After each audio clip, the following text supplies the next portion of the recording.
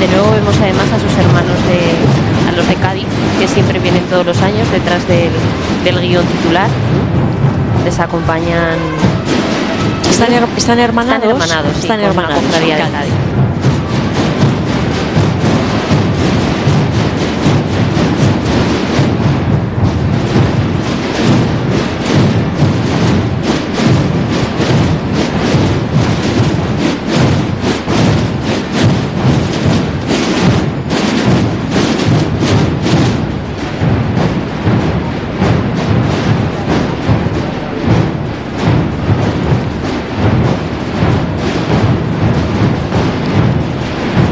Fantástica esta imagen, ¿verdad? Sí, es que el marco de salida es San Cayetano, el Palacio de Gabarda, el hotel. Esta plaza que lo explicamos todos los años, que tiene como una disposición de teatro italiano, ¿no? Sí, de escenario sí, de teatro sí. italiano, más inclinado en la parte más profunda y más bajo en la parte delantera. Es la plaza de la Semana Santa, de Sí. todas maneras. Eh, cuando pasemos el, el lunes y esté todo totalmente vacío, eh, hay que reconocer que tienes nostalgia, ¿eh? aunque estemos reventados, pero tienes nostalgia. Los sentimientos cofrades de estos días se transforman Sí. en nostalgia a partir del, Sí. del lunes, claro. Dura un año esta locura, o sea, esta bendita locura dura una semana, pero la semana de antes tienes los nervios y la semana de después, Los vaya por Dios, ya se ha Sí. acabado. Ya se ha acabado.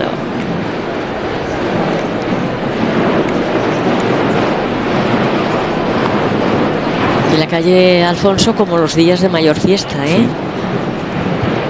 Y es que mm, los desfiles procesionales concitan muchos sentimientos, pero entre otras cosas se ha reivindicado la identidad de las comunidades autónomas, el barroquismo andaluz, la seriedad de Castilla o de Aragón, y hace que las personas creyentes o no, pues indudablemente se- estén atrapadas. Eh, además es un espectáculo que Es un desde el punto de espectáculo. vista visual Sí, sí. es un espectáculo de- aparte de la devoción por supuesto porque esto como siempre dice Carmen es una forma de, eh, de expresión y pública manifestación de pública de fe pero además de eso es un espectáculo visual sonoro oloro verdad con el El incienso es una parte muy importante, ¿no? Eh, nos olvidamos muchas veces, además lo comentábamos el otro día con el tema de los atributos, eh, los olores, y además cada Cristo y cada Virgen tiene un olor diferente. No todos los inciensos son iguales. ¿no? Mm, Además nos, nos han comentado que incluso hay mezclas especiales, Especiales, para, para estos días.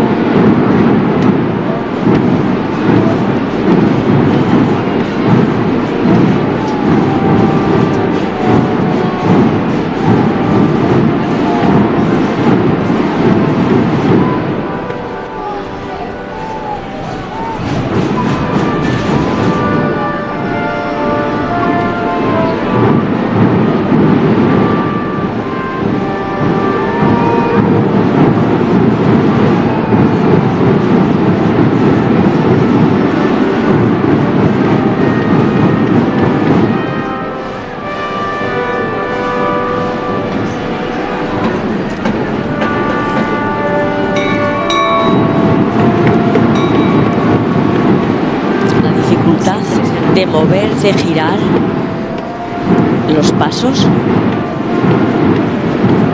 Cuando hablábamos el otro día de los ensayos, de los, de los instrumentos que son importantes, eh, los ensayos de, de, en este caso, los portadores del Cristo son muy importantes. Tienen que ir todos a la par, tienen que empezar todos con el mismo pie.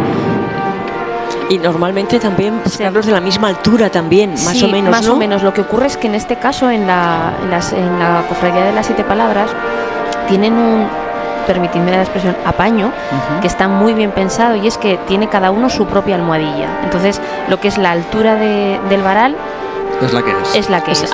Y cada uno acopla su almohadilla al puesto en el que le toca. Entonces así mantienen de su altura, la almohadilla es más alta o más baja. Efectivamente, sí. Claro esto permite ver la horizontalidad que vemos ahora del paso Eso casi es. perfecta Y dejar que el paso prácticamente vaya andando.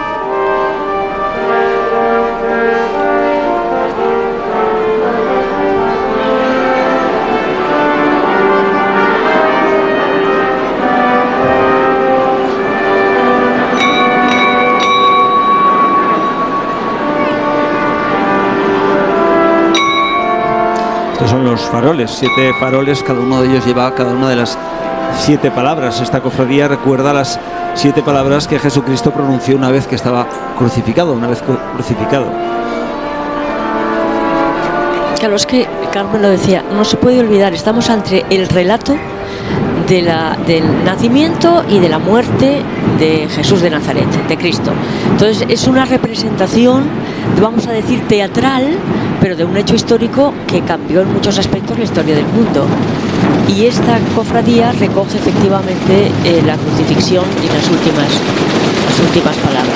Escucharemos enseguida la predicación de la segunda palabra ¿Sí? a cargo de... de Fernando Arregui, que es el rector del seminario de Zaragoza, metropolitano. y además está También conciliario de, de la cofradía de las siete palabras de San Juan Evangelista. una segunda palabra que se va a pronunciar cuando son la, es la una menos 12 minutos del mediodía en el chaflán de la calle manifestación Segunda calle palabra Alfonso de Cristo en la y que comienza ahora mismo. En verdad te digo, hoy estarás conmigo en el paraíso. Del Evangelio de Lucas. Uno de los malhechores le insultaba, ¿no eres tú el Cristo?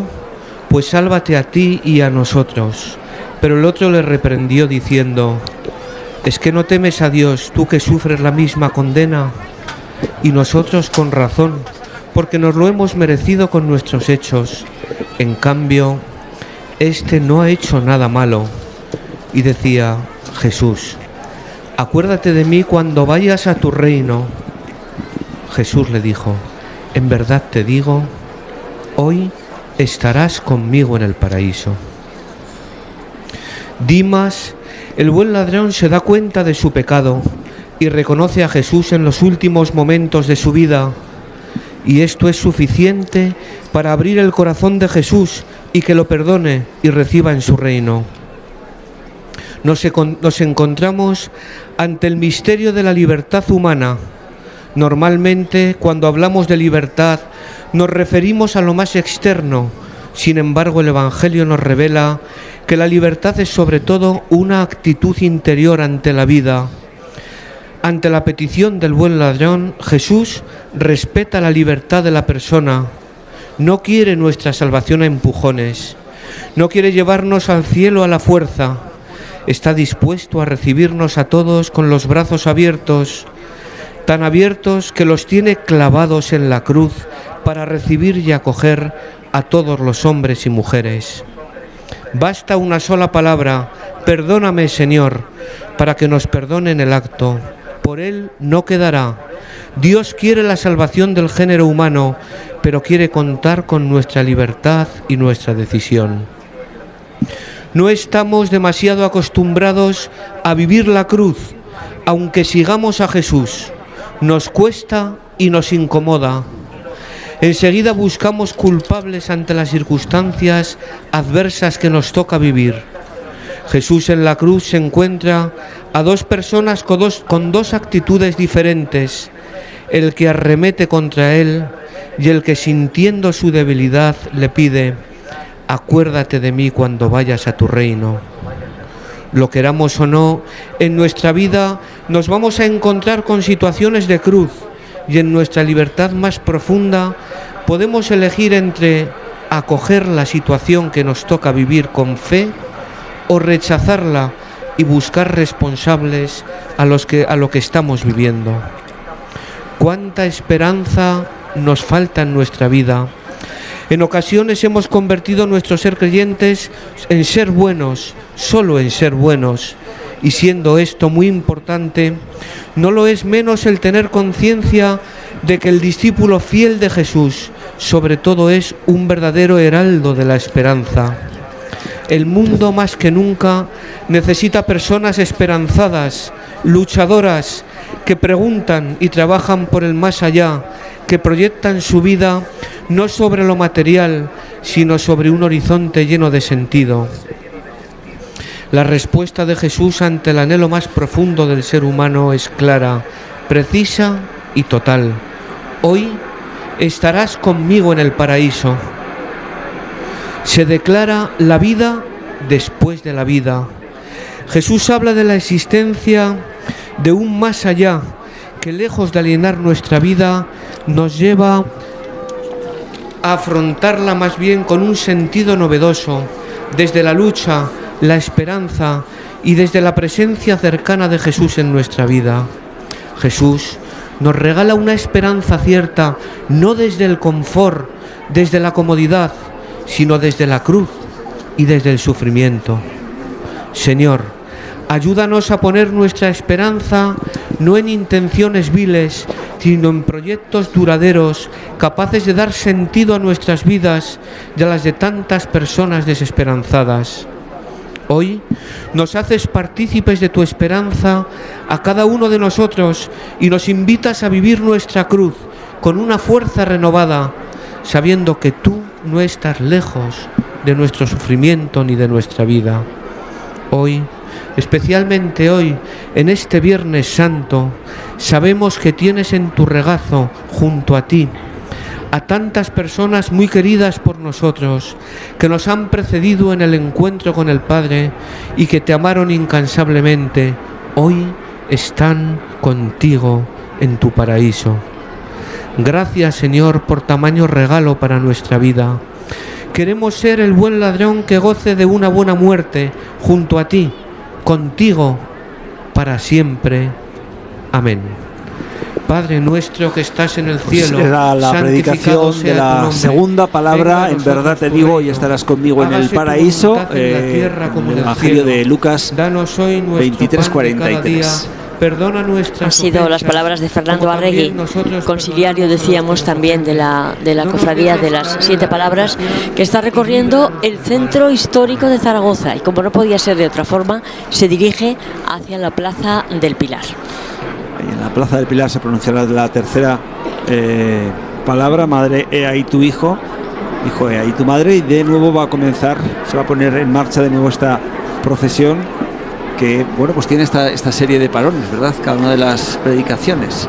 Tiene esos parones y además eh, cada distribución y cada mm, colocación en cada una de ellas es diferente porque cuando se llega a la Plaza del Pilar, la colocación de los pasos y todos los hermanos cofrades en, la bandeja también es un croquis, que hablábamos de el trabajo de los cetros, pues sí que es cierto que, que congregar a tantos ahí y todos dispuestos, todos perfectos, Y todos en su sitio. todos en su sitio. Están viendo cómo ya se ha dispuesto esa, esa bandeja de la Plaza del Pilar y cómo se ha dejado el espacio libre en el centro para que vayan entrando cada uno de los eh, cofrades mientras vuelven a sonar los tambores de esta cofradía que ya les hemos contado se formó en el año 1940 fueron El día de San Valero. 12 tambores Sí. aquel día y hasta 13 años después, hasta 1953, no hubo una segunda eh, sección de tambores que fue el, despre- el, el desprendimiento, el descendimiento o el prendimiento, ahora no recuerdo,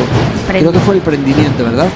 El prendimiento fue la segunda cofradía en tener su sección de tambores en 1953. El prendimiento que es la, la de Escolapios, vamos la a de decir, la, cofradía de, de Escolapios. Bueno, además esta cofradía, como todas, realizan una extraordinaria labor social a lo largo del año. Vestir cofrade, ser cofrade no solamente consiste en salir en Semana Santa vestidos de blanco y verde ahora. Por ejemplo, la cofradía colabora con la residencia de ancianos de Nuestra Señora del Pilar y con todas las necesidades de la parroquia donde tiene su sede, que es la parroquia de, de San Gil.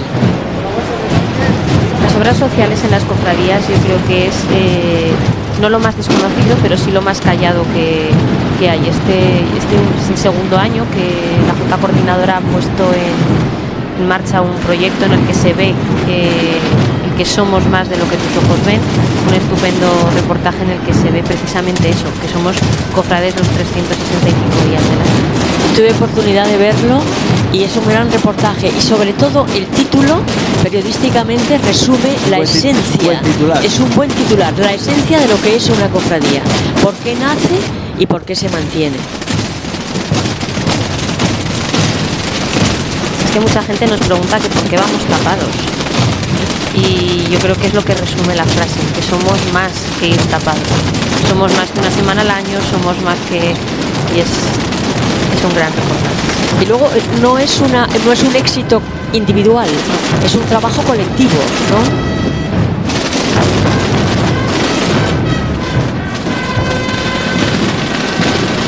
De las siete palabras eh, se caracteriza por ese color blanco y verde y también por los siete nudos que llevan en el cíngulo, en el, en el cordón, ahí lo están viendo, en el cordón que eh, se anuda a la cintura cada uno de los cofrades, un color verde que proviene eh, de la juventud masculina de acción católica. Con la diferencia que están viendo que son los cofrades que portan el Cristo de la Expiración, que llevan el Tercerol, tercerol negro. negro, sí.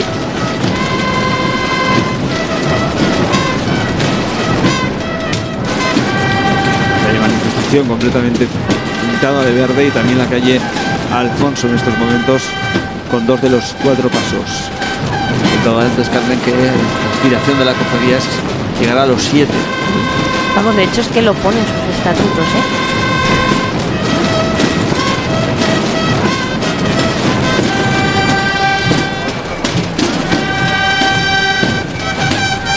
Hay que reconocer que cuanto más estrechitas son las calles, mayor valor adquiere el desfile profesional. Esta imagen que nos, nos ponía la realizadora es magnífico, ¿no? De, de los pasos.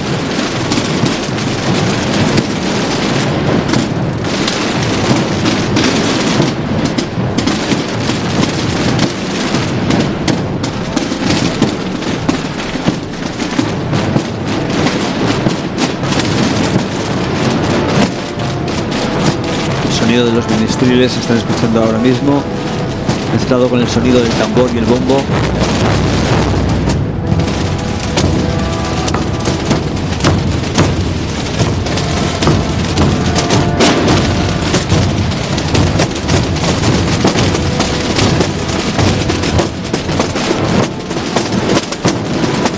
La tercera palabra.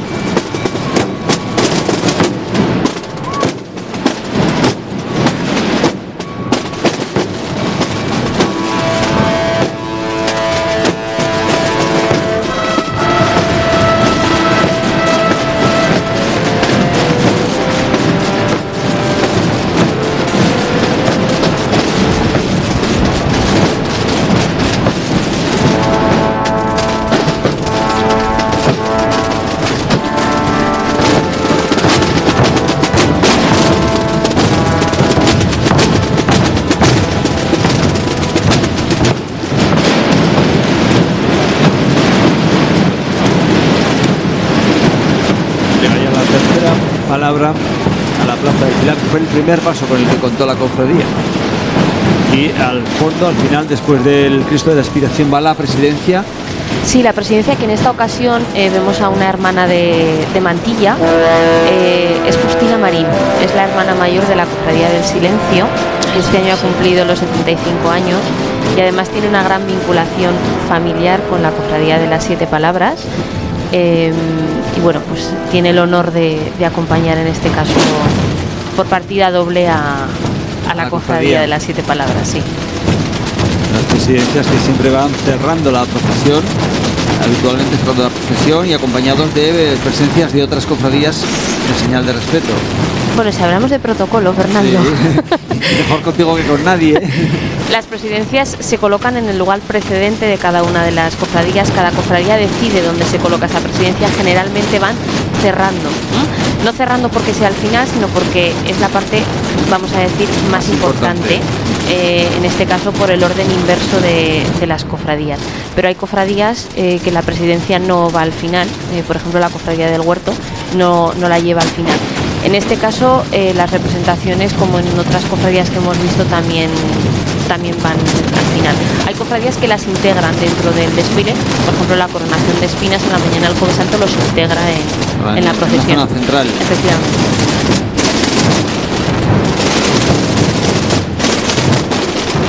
Llegando a la Plaza del Pilar.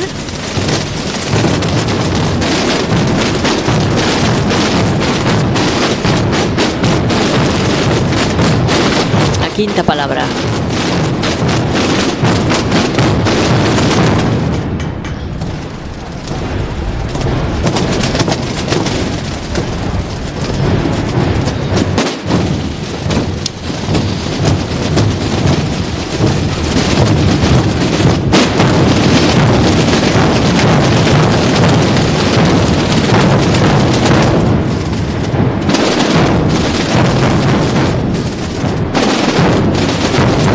Quinta palabra, una cruz que mide 4 metros, está tallada eh, simulando los nudos de la madera y eh, recuerda mucho al barroco murciano. Una gran ornamentación floral también. Y es el paso fantasma, si os dais cuenta. Sí, porque no hay nadie que lo empuje. No hay, nadie, que... no hay nadie que, que- que lo empuje de. Yo recuerdo de pequeña, no me cabía en la cabeza. O sea, pero ¿cómo que se, ¿Cómo se mueve solo? cómo que se mueve solo? Vamos a contar que hay una persona en el interior, ¿verdad? Efectivamente, debajo justo de, de lo que es eh, el chasis de- del paso y alrededor de la greca hay un estupendo eh, volante con un cofrade, cofrade además, Cofre de conductor. cofrade conductor que, que vaya abajo, sí. Se puede tallar la tristeza ¿eh? y la amargura de ese rostro.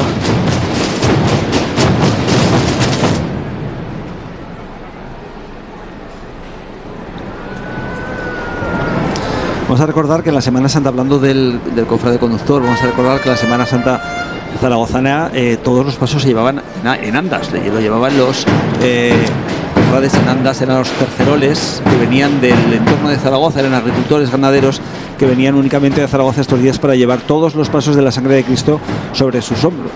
Hubo una huelga, la famosa huelga de los terceroles, eh, y eso eh, puso en riesgo que es- aquella Semana Santa salieran los pasos, no recuerdo exactamente el año, fue en el años 35, 30, 1935.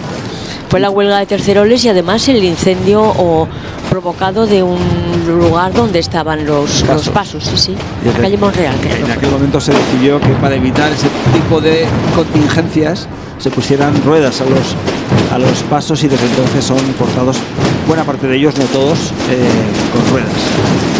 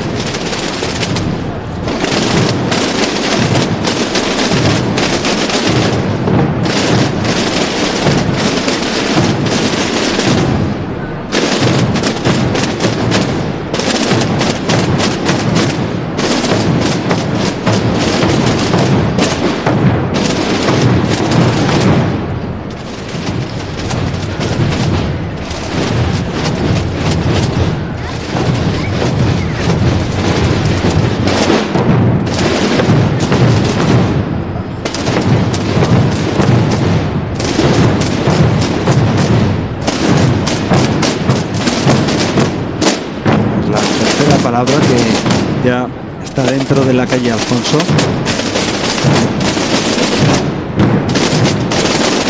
Que Alfonso, que una vez más se convierte en protagonista también en esta época del año, en la, en la ofrenda de flores, en las procesiones y esta tarde eh, eh, también con motivo de- del cambio de recorrido del Santo Entierro. Vamos a contar a los espectadores que este año el Santo Entierro vuelve a cambiar, como ya creo que es la tercera vez en los últimos años. Lo hace por las obras de reforma del mercado central. Va a tener una- un recorrido muy similar al que estamos viendo de las siete palabras. Calle Manifestación, calle Alfonso y después eh, realizará también este giro por la Plaza del Pilar. Yo, digo, yo diría que cobra más protagonismo la Plaza del Pilar en esta ocasión, ¿no? Porque va por, por el lateral del ayuntamiento, bueno, lo explicaremos por la tarde. Lo vamos a ver con mucho detalle, sí.